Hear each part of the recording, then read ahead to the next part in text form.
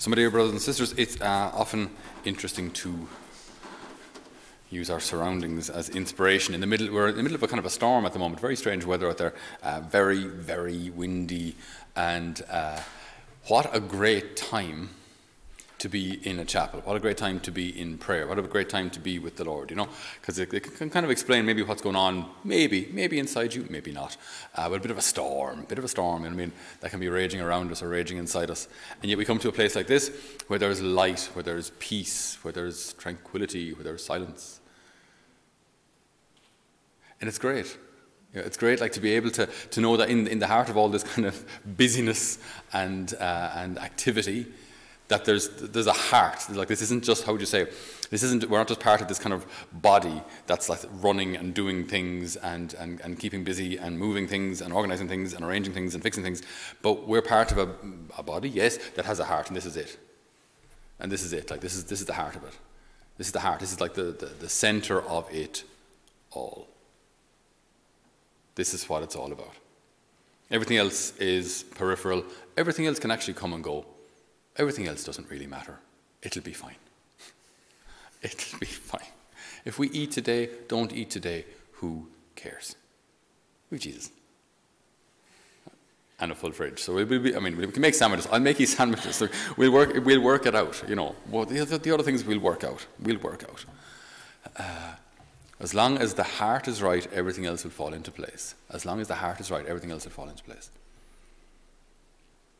You know, and that's, I, by the way, like when I say these things, I have to live them as well, you know. So these things aren't, uh, they're easy to say. You, know, you get a kind, of, a kind of little moment of inspiration, woohoo, it's great. Uh, but I actually have to live this as well, you know. So like the, the so to know like that, that despite all the business and everything going on, this is what it's all about. Bring it back to Jesus. Bring it back to the Lord. Bring it back to the heart of what it's all about. So this is actually a great time. Is an exciting time to be a disciple. This is an exciting time to follow the Lord because what we have is so necessary in the world, like faith and hope and love. These are so necessary in the world and so absent. And the more you work with young people, the more you get familiar with, uh, with, with like schools at the moment or, or families at the moment, the more you see there's such a need for faith, such a need for God in their lives, such a need for hope. Otherwise, as soon as a problem comes along, some sort of a disappointment or difficulty or rejection, people fall apart. No hope. And such a need for love. Like, who, who doesn't need love? Even people who act like they don't, even people who have this kind of hard exterior, of course they need love. Maybe even more. So, there's such a need. So, this, this is a great time. It's an exciting time to be a disciple. It's an exciting time to follow the Lord.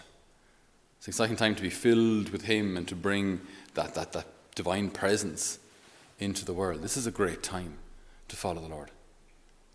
So, we have a decision to make. Being, like, if you look at our history, uh, being Irish traditionally meant being Catholic. Being Polish traditionally meant being Catholic. Being Bavarian traditionally meant being Catholic. Being Italian traditionally meant being Catholic.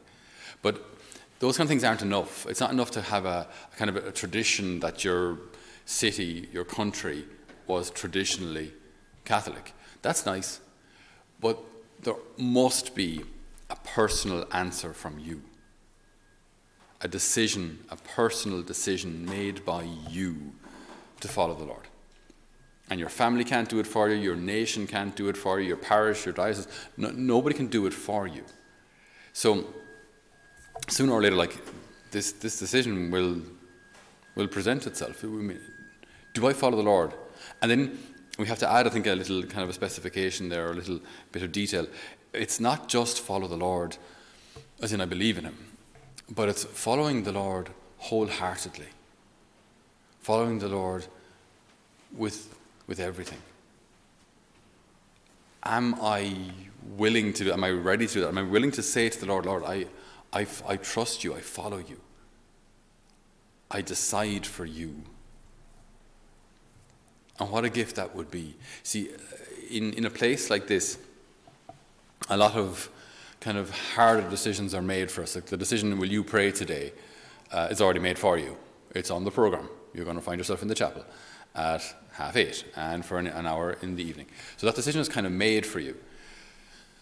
As far and against that, I mean, it's good that you're praying. It's better again if you decide to pray. Better again if you decide to be here. So that's where like our our yes, our free will, our decision is absolutely key in getting something from this year. Because nobody can do it for you. There's no substitute to you deciding to follow the Lord. There's no, no, as I said, nobody can do it for you. I mean, even all the powers of heaven can't annihilate your will and force you to do something. So God Himself waits for your decision. God Himself waits for your reply.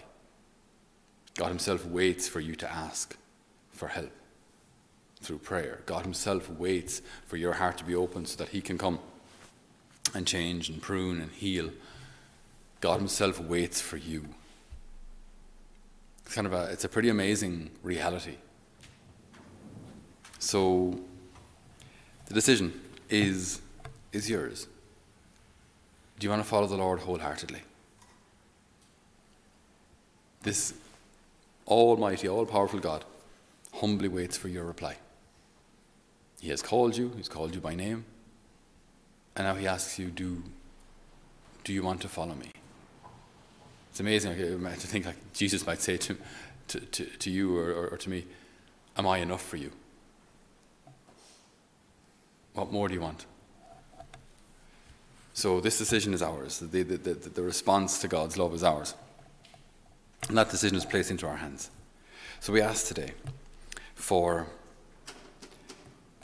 for a new heart, for a great confidence in saying yes to the Lord, for that renewed decision to place the Lord at the center of our lives and the center of our hearts.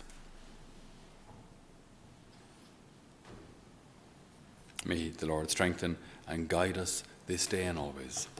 Amen.